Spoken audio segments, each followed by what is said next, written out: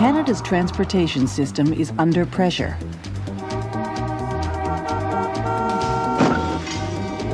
In our major urban hubs, situations like these are becoming a fact of life. And with more people and businesses concentrating in fewer places, fast intercity transportation is urgently needed.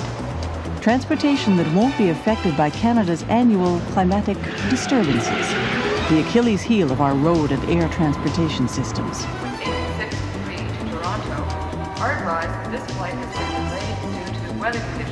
One option being seriously considered is a high-speed intercity passenger train.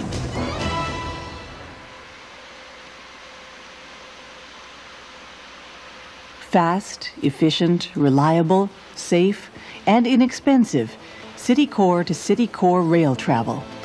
It's like a second Canadian dream.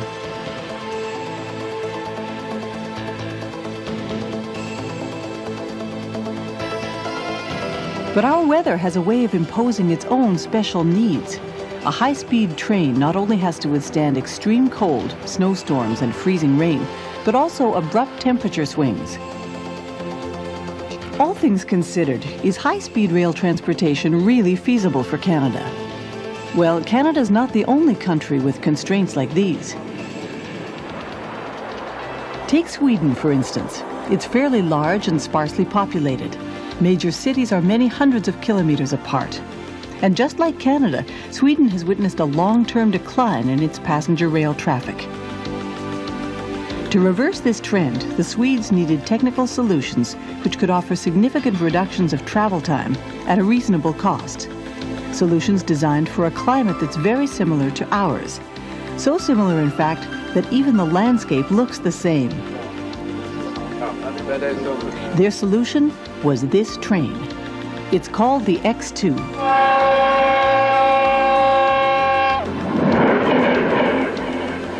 It's an electric high-speed train incorporating latest generation technologies. The X2 can travel at 250 kilometers an hour. But more significant is its high average speed, which enables it to cover the distance between Stockholm and Gothenburg, 457 kilometers, in less than three hours. It's a fast, clean, safe, and energy efficient mode of transportation and the beauty of it is that it's running on existing railway lines. This train was built by ABB. ABB is the world's leading electrical engineering group. With global sales of $30 billion and a workforce of 215,000 in over 140 countries, including Canada, ABB is uniquely placed to meet electrical engineering needs anywhere in the world. Its major activities are power generation, transmission, and distribution, industrial equipment and systems, including robotics and factory automation, environmental technology, communications, and of course, transportation, especially electric traction. In that area, ABB is no newcomer. ABB Canada's president and CEO, Peter Jansen. We developed the first electrically driven train set in 1891. That's almost 100 years of experience and development that we've had going on within our group. It's our technology, it's our development in electric traction. As a federation of national companies, ABB thinks globally but acts locally. This decentralized philosophy has enabled ABB Canada to grow on its own. ABB Canada is already the major supplier to the two biggest Canadian electrical utilities, its resources and determination have made it the leading electrotechnical company in Canada. ABB Canada's products and technologies are also at work in other major Canadian industries pulp and paper, automotive, mining, and metallurgy. The company also manufactures robots and automation systems. Following the acquisition of Westinghouse plants in mid 89 and combustion engineering this year, ABB Canada increased its workforce to more than 5,000 Canadians. ABB now owns the most advanced technologies for mass transit systems and high-speed trains, and it ensures its leadership by spending almost $2 billion a year on research and development. It shows. If we look within ABB, we see these three technologies. The magnetic levitation travels at well over 500 kilometers an hour. We have the Intercity Express in Germany, which is a high-speed alternative traveling well over 300 kilometers an hour. Then we have this train that we've developed in Sweden, which is really the base for the Sprintor, the solution that we're offering here for Canada. ABB Canada has already been involved in major Canadian transportation projects traction motors and controls for the second phase of the Montreal Metro, and recently electrical systems for BC Rail's heavy freight trains in Tumbler Ridge. The company supplied propulsion equipment to major car builders for use in Cleveland, Portland, and San Jose, as well as Disney World in Florida.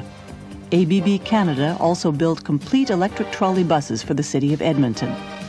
Now, ABB Canada is committed to the Canadian High Speed Train Project. Canada needs some high-speed rail, but Canada can't afford to spend too much money on it. And we need something that's going to be practical, can be installed tomorrow and get working, and we know it's going to work.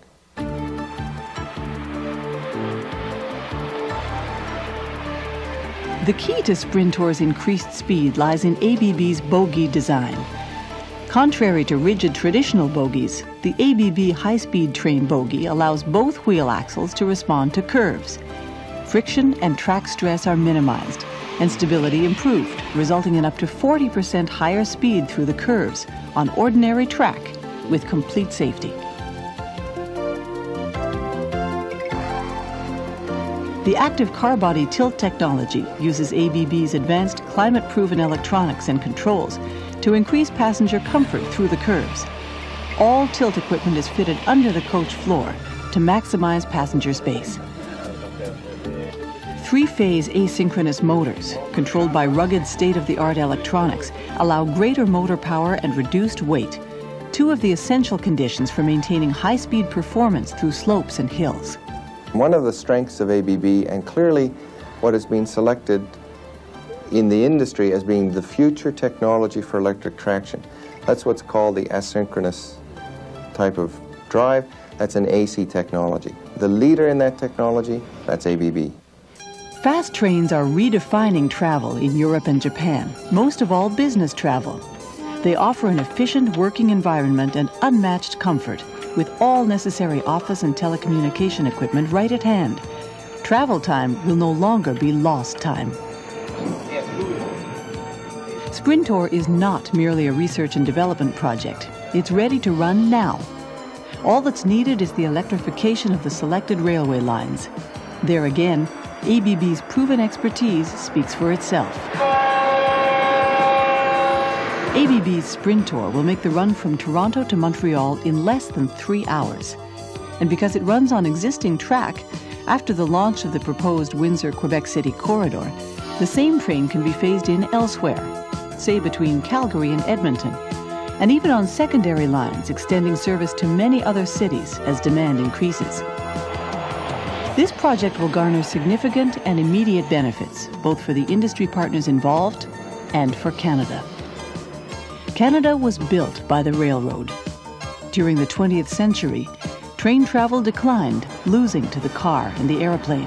But the 21st century could very well witness the renaissance of the train as fast trains become once again the preferred mode of travel over short and medium distances.